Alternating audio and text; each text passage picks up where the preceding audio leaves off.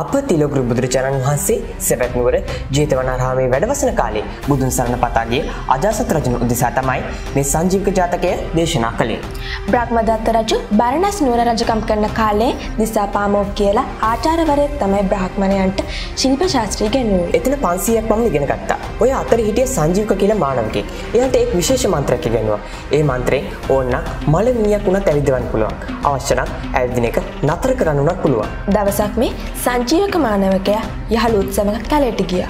ඔහු දැක්කත් මැරිච්ච ව්‍යාග්‍රයෙක්. මට මේ ව්‍යාග්‍රයට පණ දෙන්න පුළුවන්. ඔහු අර යාළුවන්ට කිව්වා. නමුත් යාළුවෝ කොහොමදවත් ඒක පිළිගත්තේ නැහැ. මේ මැරිච්ච ව්‍යාග්‍රයෙක් කියලා යාළුවෝට සරදම් කළා. එතකොට සංජීවක මානවකයාට කේන්ති ගියා. ඔහු මන්ත්‍රය ජප කරන්නට උනා. එක්වරම නැගී සිටි ව්‍යාග්‍රය ඔහුගේ ගෙල මතට පැන ඔහුව මරා දැම්මා. යාළුවෝ මේ සිද්ධ වුණු සියල්ලම ඉක්මනටම තම ගුරුතුමාට කිව්වා. අසත්පුරුෂනට සංග්‍රහ කිරීමෙන් අයහපත් විපාකම සිදුවන බව ඇදුරුතුමා පවසා සිටියා. එදා ඒ සංජීවක මානවකයා වූයේ අජාසත් රජුයි. ආචාරවරයා වූයේ අප තිලෝගුරු බුදුචාරන් වහන්සේ. ඉතින් තවත් දවසක තවත් ජාතක කතාවක් තුළින් නැවත හමුවෙමු.